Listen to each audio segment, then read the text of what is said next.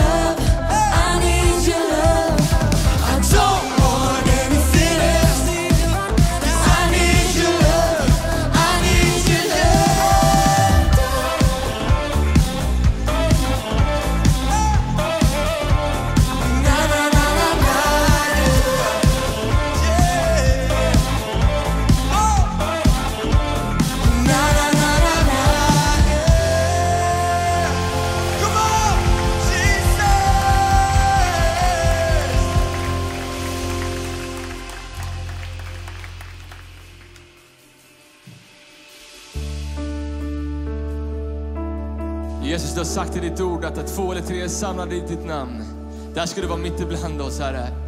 Så oavsett om vi är på ett av våra mikromöten eller om vi sitter framför en skärm eller en dator så vet vi att vi inte sitter ensamma utan tillsammans med oss finns det tusentals med människor som vill lyfta upp namnet över alla andra namn, Herre. Vi lovar och prisar det namnet den här dagen, Jesus. Var med och sjung med oss. I ett mörker var vår vän utan ljus, utan tills du skyndade från himlen och med räddning kom till oss som profeterna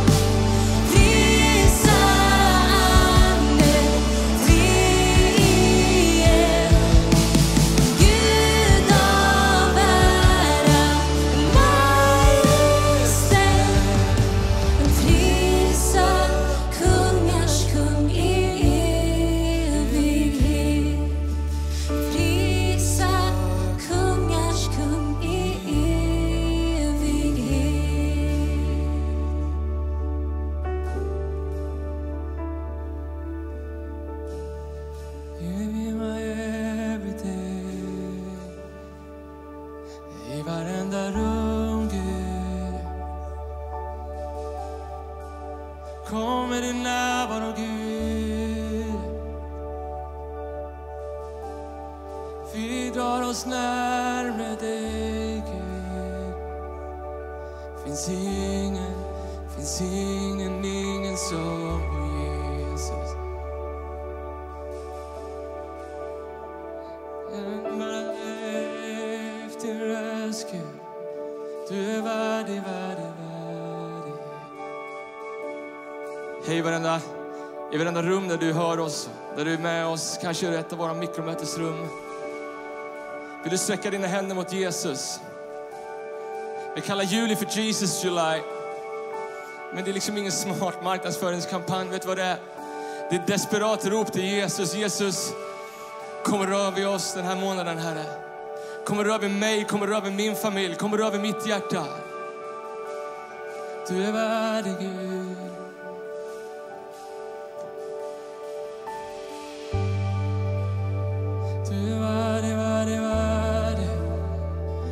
Lyft upp din egen röst till Jesus.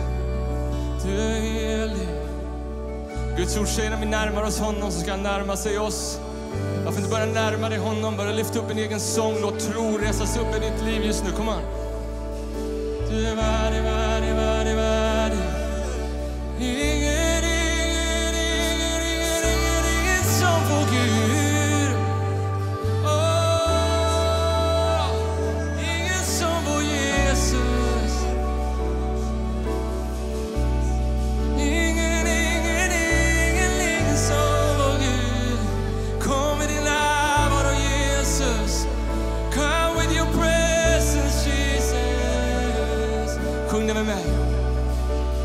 Jag ger allt jag har.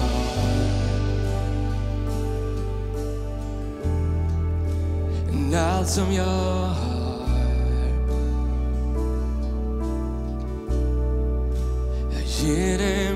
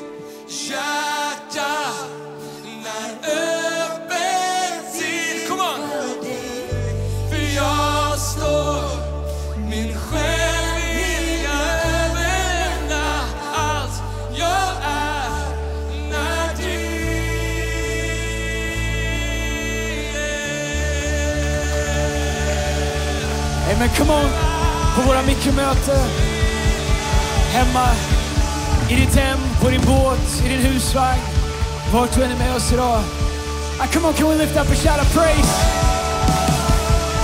Come on alla mikromöten. Let's lift it up. Amen. amen, amen. Och jag älskar, jag älskar Gud, jag älskar kyrkan, mitt i juli.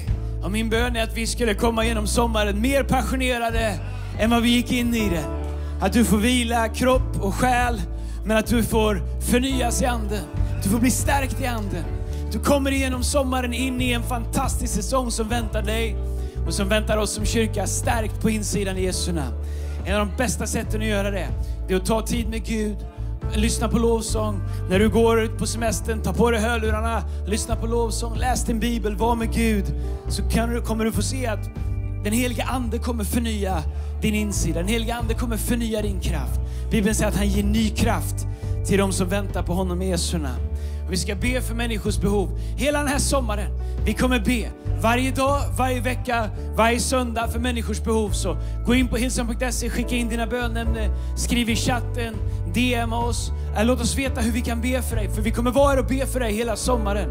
Och vi finns här för dig om du behöver ringa oss eller få tag i oss. Vi är en kyrka som aldrig sover i Jesu namn, så vi finns här. Um. Jag ska be för Annie från Uppsala som ber för sina barns frälsning, ber för Carolina från Göteborg som ber om Guds vägledning i framtiden och Torbjörn från Stockholm som behöver ett nytt jobb och så många människor som behöver ett helande och människor som ber för sina familjer, sina äktenskap den här sommaren att Gud ska göra mirakler och men också människor som tackar Gud. David från Jönköping, han tackar för en ny bostad. Isabella från Stockholm, hon tackar för sin mormors helande, vilket är fantastiskt. Amen.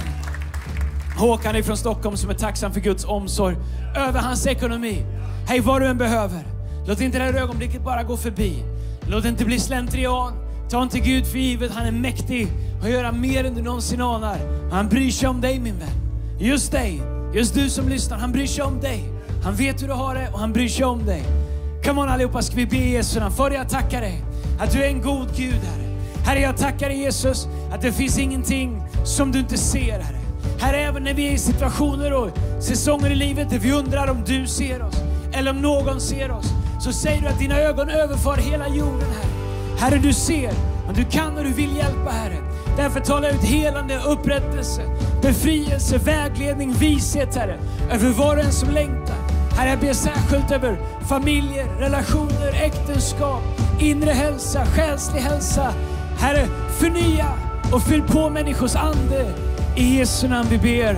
Och hela kyrkan sa Amen, amen, amen. Och jag älskar våra mikromöten. Jag har varit på så många eh, redan och predikat i Stockholm och Göteborg och eh, tycker det är awesome och vi kommer fortsätta dyka upp överallt. Och, eh, så vi kommer köra hela sommaren. Men om det var ett mikromöte, det är dags för meet and greet, vilket innebär att du står på din plats, snurrar runt, vinkar, hälsar, sträcker en armbåge hemma. Vi fortsätter alldeles strax. Gå ingenstans!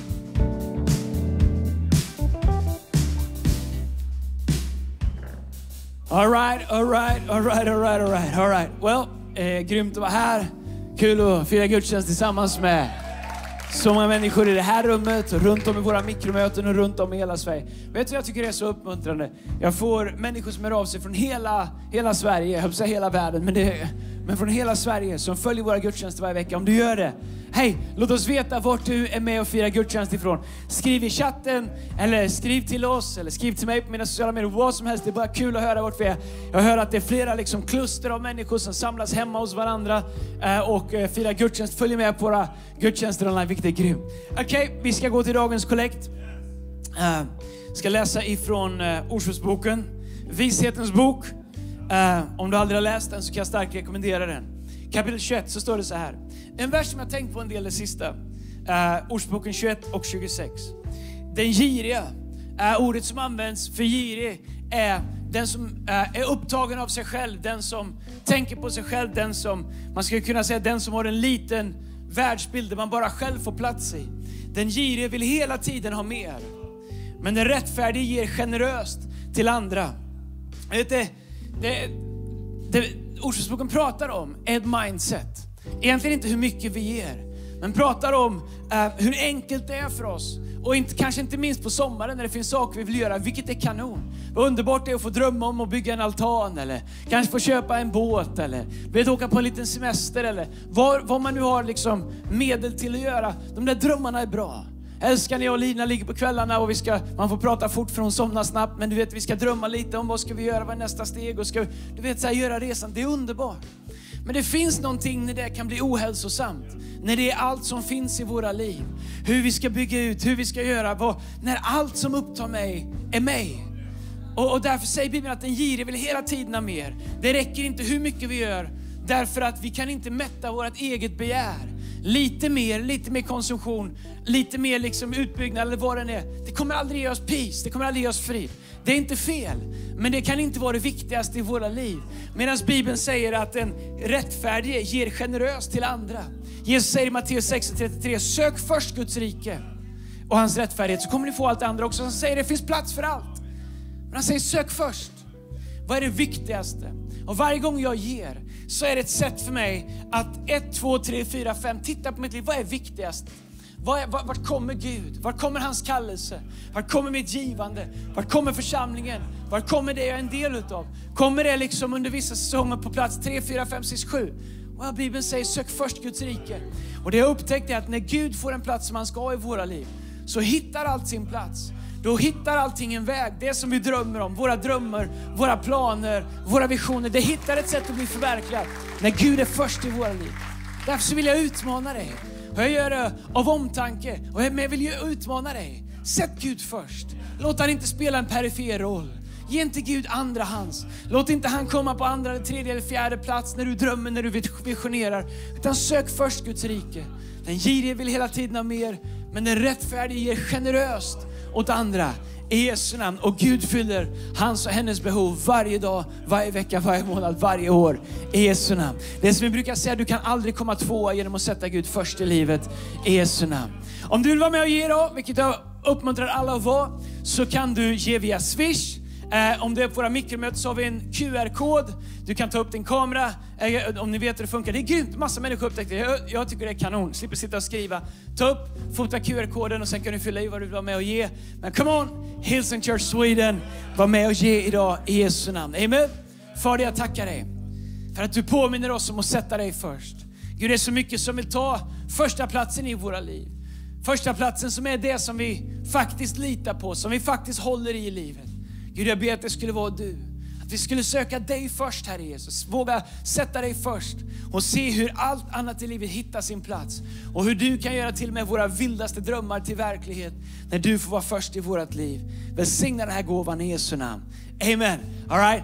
Uh, Medan du ger ska vi kolla på Church News. Uh, så fortsätter vi alldeles strax. Kolla på det här.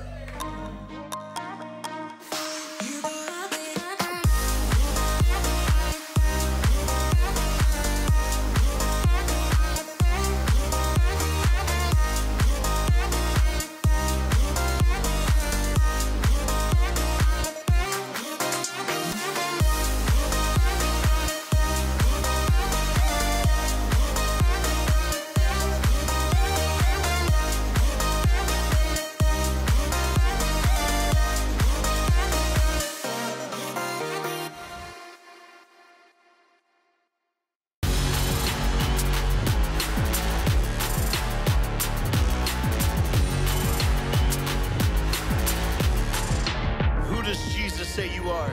He says you're forgiven. He says you're the king. He says you're the queen, you're the prince, you're the princess. He says you're the head, not the tail. He says all things are possible. Det enda jag försöker säga dig här idag, att du kanske tror att du är omringad av problem, men min vän Gud har omringat dina problem. Och det enda du behöver göra är att be Gud att han skulle öppna dina ögon så att du ser att problemen kanske har dig omringade, men Gud har omringat dina problem.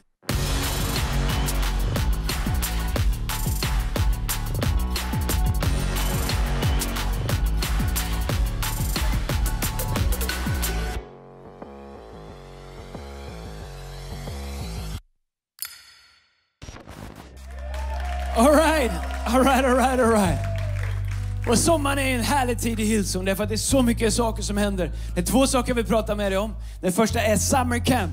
In och registrera dig. Det börjar bli fullt, men vi har plats för några till. Vi har Activity Week, vilket är awesome. Massa grymma grejer du kan göra. Ehm, jag vet att det är så många läger och kollon och aktiviteter i Sverige som har stängt ner, som inte har vågat satsa.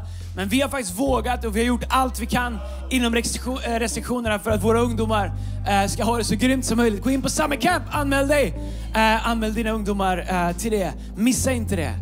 Och ehm, så, så kommer vi göra allt vi kan för att de ska komma hem uttröttade så att de kan sova en vecka, men fyllda med Gud i Jesu namn. Dessutom startar vi något vi kallar för Summer Challenge. Summer Challenge i Hillsong. Varje måndag morgon så kommer vi på våra sociala medier släppa en ny utmaning som syftar till att Jesus ska bli mer synlig i oss. Att han ska få mer plats i oss. Att vi ska kunna växa i vår relation. Men också att han ska synas mer igenom oss. Genom saker vi gör, sätt vi beter oss på. Och varje måndag morgon så kommer en ny challenge. Och jag är up for it. Eh, jag älskar utmaningar. Det är perfekt för mig. Då får jag någonting gjort. Så om du vill hänga med på det, hjälp oss att sprida det. Tänk om vi kunde få tusentals människor som gör samma challenge, bestämmer sig eh, för att Jesus ska synas i oss, Jesus ska synas genom oss. Vi läser om Jesus, tänker på Jesus. Det kommer bli grymt. All right? Eh, du, behöver, du kan vara helt ny i tron, eller du kan till och med liksom inte veta vad du tror på. Eller du kan vara gammal i tron. Det borde du inte vara, du borde alltid vara fräsch i tron. Men du kan ha gått med Gud länge, så kommer du gilla det här i Jesu namn. Okej? Well, uh, vi ska lovsjunga tillsammans. På våra mikromöten vi kan ställa oss upp och uh, hemma får du göra som du vill. Men vi ska sjunga en lovsång innan vi går in i dagens predikan, vilket kommer vara awesome. Så öppna ditt hjärta, ta tag i det här ögonblicket i Jesu namn.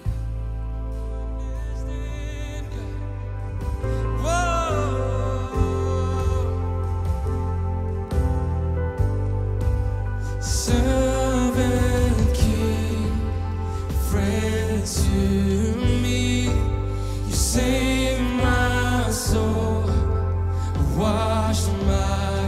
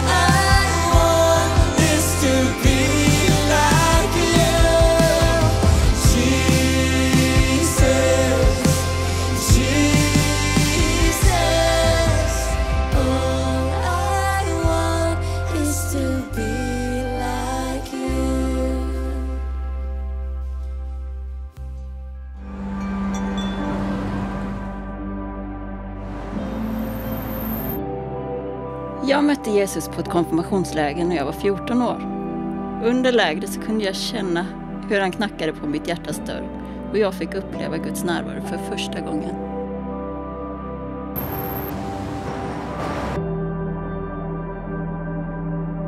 Jag fick möta Jesus när jag var som mest trasig i min själ.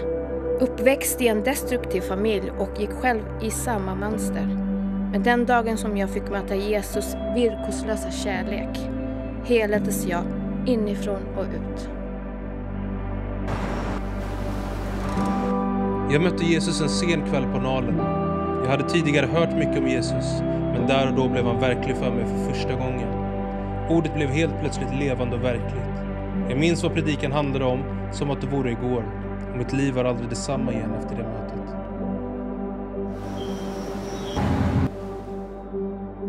Jag mötte Jesus när jag var 15 år. Det var i lovsången. Jag minns det kändes som att det brann på min insida och jag kunde inte göra annat än att säga Jesus, jag ger dig mitt liv. Gör vad du vill med det.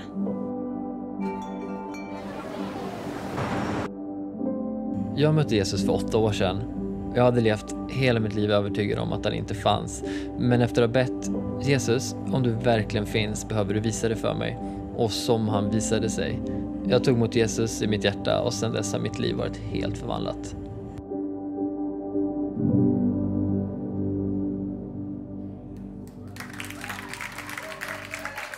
Amen. Jag älskar Jesus July. Och välkommen till dig som sitter på ett mikromöte eller om du är med online. Och jag tänker att vi ska börja predikan faktiskt med att be tillsammans. Och där du är, var med och be den här bönen. Så Fader, jag tackar dig för att det här mötet tillhör dig. Jag tackar dig Jesus för att du vill tala. Jag tackar dig Jesus för att du är på den här platsen. Och jag tackar dig Gud för oavsett hur vi har hittat hit, så tackar jag dig för att du vet vad det är vi behöver höra. Så jag ber i Jesu namn att du skulle stilla de stormar som behöver stillas. Vi tackar dig för att allting tillhör dig. I Jesu namn och alla sa Amen, amen, amen. Jag vill börja med att ställa en fråga. Jag kommer ställa en fråga till dig och frågan är varför är ni rädda? Varför är ni rädda? Så sitter du på ett mikromöte, säg det till personen bredvid dig eller här på läktaren eller sitter du själv, säg det högt för dig själv. Varför är ni rädda? Eh, stor fråga. Jag tror att vi alla bär på någonting som vi kanske är rädda för. Men Jesus ställer den här frågan många gånger i Bibeln. Och jag tänker att vi ska läsa en story tillsammans om när Jesus ställer den frågan till sina lärjungar. Är ni med? Det är bara att haka på här. Vi läser i Markus kapitel 4 och vers 36. Det står så här. När det blev kväll sa Jesus till sina lärjungar, kom så åker vi över till andra sidan sjön. Då lämnade de folket och åkte över i den båt där Jesus redan satt. Flera andra båtar följde också efter. Men då blåste en våldsam storm upp och höga vågor slog in i båten så att den fylldes nästan helt av vatten. Jesus själv låg och sov i båtens akter med huvudet mot en kudde. Jag älskar Jesus. Men hans lärjungar väckte honom och sa, Mästare, märker du inte att vi håller på att förgås? Då reste han sig upp, talade strängt till vinden och sa, Tig, var tyst. Han sa tig, var tyst. Och genast lade sig vinden och det blev alldeles lugnt. Sedan frågade han sina lärjungar, varför är ni rädda? Han frågar, varför är ni rädda? Har ni fortfarande svårt att tro? Förskräckta sa de till varandra, vem är han som till och med vinden och sjön lider? Vem är han som till och med vinden och sjön lider? Och jag vet inte hur det är med dig, du kanske har läst den här storyn förut eller vuxit upp med den i kyrkan eller barnkyrka eller whatever. Jag har läst den här storyn många gånger, men det finns en sak som fastnade vid mitt hjärta på ett nytt sätt när jag läste den här. Och det är att Jesus säger till stormen, tig, var tyst. Tig, var tyst. Så vet du vad? Jag tror att stormen har en röst. Stormen har en röst. Jag vet inte vad den rösten har talat in till dig. Jag vet inte vad det kan vara, om det kan vara lögner eller saker som du har gått på. Men jag tror ibland att stormen har en röst. Och kanske är det så att det har varit en säsong för dig som har varit tuff. Men jag vill bara uppmuntra dig i den här stunden att Gud aldrig har lämnat dig, att han är god och att han vill säga oss någonting genom den här storyn. Så där du sitter, skriv upp dina punkter. Första är, stormen har en röst. Stormen har en röst. Så min fråga är, vad har stormen sagt till dig? Vad har stormen sagt till dig? Kanske kan det vara olika saker och jag identifierade några av de sakerna som jag själv faktiskt lätt går på och som jag kanske fastnar i ibland. Och den första är lögner. Vad har stormen sagt? Lögner. Lögner är ju som ni hör inte sanning. Men det är så lätt att vi går på de här lögnerna. Så kanske har du gått på lögner om att du inte är tillräcklig. Lögnen om att du aldrig kommer att få ett jobb som du har sökt hur länge som helst eller bett om. Lögnen om att ditt äktenskap inte går att rädda. Lögnen om att du är ful när du ser dig själv i spegeln. Lögnen om att du är ensammast i världen. Jag messade faktiskt med eller en tjej som, som DMade mig igår på Instagram som har hittat till våra online-möten. Hon skrev till mig, Vanessa, jag känner mig så ensam. Jag känner mig så ensam. Jag, jag umgås bara med min mamma och min pappa. Det är en, det är en ungdom. Och kanske är det så att du känner dig ensam, men vet du vad? Du är inte ensam. Stormen kanske har sagt något, men Jesus säger någonting annat. Du är inte ensam. Här är en, en fun fact, jag säga. det är inte en sån fun fact, men det är vad forskare säger. Så här, vi, vi har 500 tankar varje dag som inte vi vill tänka. 500 tankar varje dag som inte vi vill tänka. Cirka 14 sekunder per tanke. Vet du hur mycket det motsvarar? Snabb matematik. Två timmar varje dag som kan innehålla tankar som du och jag egentligen inte vill tänka. Och jag var så här, hur kan det här stämma? Så jag kollade upp det och kollade på flera ställen och det verkar faktiskt stämma. Det kanske ser olika ut för olika personer. Men jag inser hur lätt det är att vi tänker lögner, att vi tänker på saker som vi inte vill tänka. Men vet du vad? Jesus har andra tankar för dig. Han har tankar av frid och han har tankar av hopp. Så min uppmuntran till dig är fyll dig själv med rätt tankar. Den andra saken som du och jag kanske ibland låter stormen tala in i våra liv är oro och rädsla. Oro och rädsla. Jesus sa, varför är ni rädda? Det är en situation där de åker i en båt med så vana fiskare. Hälften av lärjungarna var faktiskt fiskare. De var vana vid att vara ute till sjön och de visste vad det var som skulle hända. Men de skriker Jesus, varför sover du? Jesus, vart är du någonstans? Och kanske är det så att din rädsla har sagt till dig att Jesus sover, att han inte hör dig, att han inte hör dig när du ber. Men vet du vad? Jesus sover inte. Han behöver bara inte vara så dramatisk, för ett ord ifrån honom kan förändra vilken situation som helst. Eller hur? Så min uppmuntran till dig är, välj vad du lyssnar på. Välj vad du fyller ditt inre med, för Jesus han vill tala liv in i dig. Så min andra punkt är, Jesus har också en röst. Jesus har också en röst. Så stormen kanske har en röst, men Jesus har en röst. Och det står att han talade till stormen, var tyst. Han talade. Och om man läser i grundtexten så är samma ord, bli still, även frid. Han sa frid och stormen la sig. Vet du vad Jesus säger frid till dig idag? Han säger frid över din situation. Han säger frid över det som du står inför. Och kanske är det så att du har gått från storm till storm. Du vet inte ens vad du ska jämföra ditt liv med, för hela ditt liv är en storm.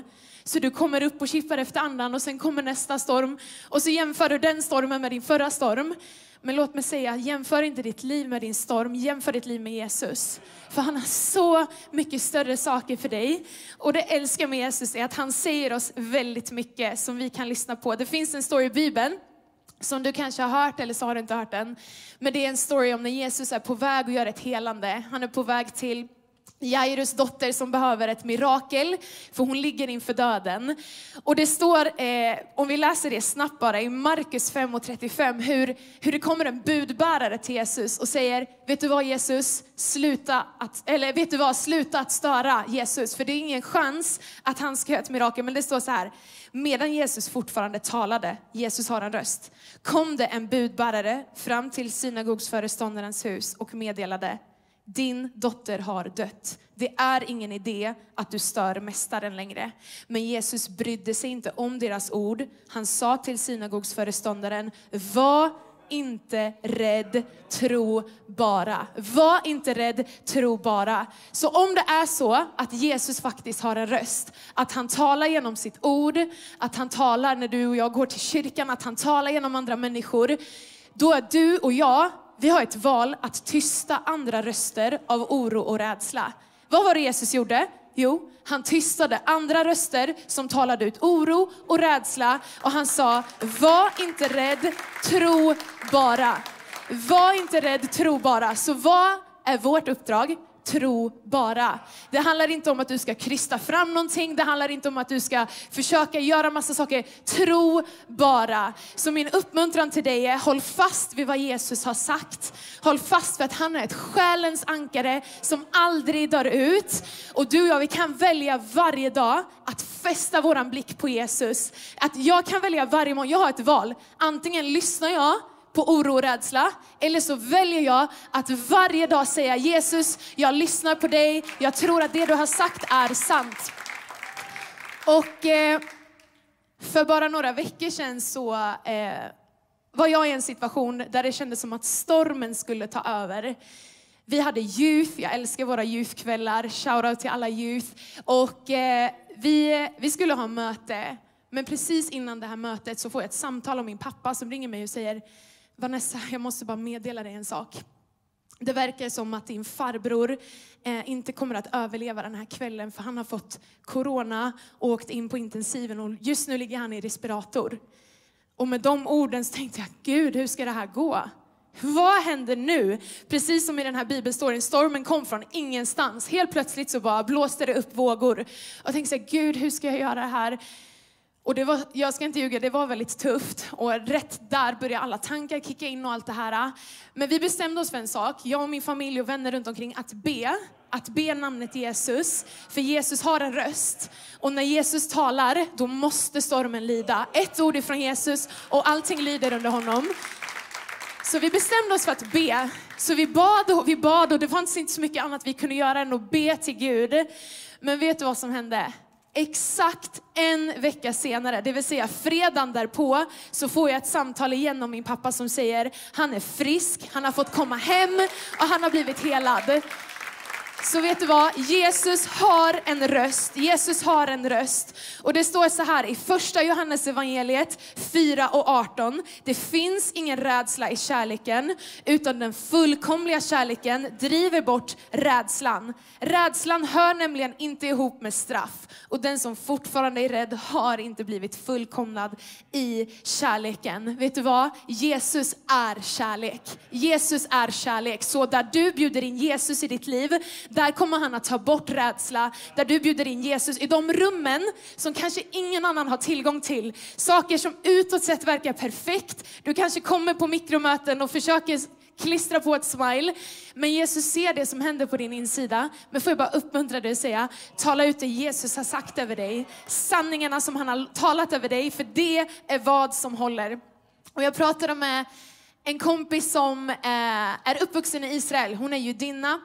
Och vi bollade lite, jag brukar ibland bolla lite bibel med henne. Och hon sa en sak till mig som har fastnat i mitt hjärta sedan hon sa det. Och hon sa att, eh, apropå att Jesus har en röst, Bibeln pratar om att herden eh, har en röst och herden är Jesus. Att vi är fåren och att vi får följa herden. Och hon pratade om att det finns slätter i Israel som går som runda ringar. Så när herden leder sina får så ropar han på sina får och han går med käppen och han leder fåren framåt. Men för de här fåren så kanske det verkar som att de bara går i cirklar. De går i cirklar, de går i cirklar, de går i cirklar. Men vet du vad som händer till slut? När de fortsätter att följa herden så kommer de till slut upp på bergstoppen. För de här cirklarna leder uppåt. Kanske är det så att du har känt att du bara går i cirklar. Du ser inte vad som är på väg runt hörnet. Du bara fortsätter och fortsätter. Och du, Gud, vad är meningen med allt? Jag vet inte vad som händer. Men fortsätt att följa herdens röst. Fortsätt att vandra med Jesus så kommer du att se toppen på berget igen. Det är inte slut än utan du kan fortsätta varje dag att följa Jesus. Så min uppmuntran till dig är fortsätt att välja Jesus. Fortsätt att välja kyrkan, fortsätt att komma på mikromöten, fortsätt att göra dig en del av gemenskap. Fortsätt, fortsätt, fortsätt. Och om man kollar på den här storyn i slutet, vad är det som händer? Jo, för Jesus säger till dem, hoppa in i båten. Han satt redan i båten. Och när de kommer fram, vad händer då? Jo, Jesus gör ett mirakel. Det står att han driver ut en demon från en person som har terroriserat en hel stad. Så kanske är det så ibland också att du och jag bara ser stormen, men vi ser inte vad som finns på andra sidan av stormen. Men bakom andra sidan så finns det ett genombrott. Och kanske är det så att du är fast i stormen och du undrar varför är jag här? Jag vet inte hur jag ska ta mig ut. Men som jag sa tidigare, fortsätt och Jesus kommer att ge dig ditt genombrott. För på andra sidan finns ditt mirakel.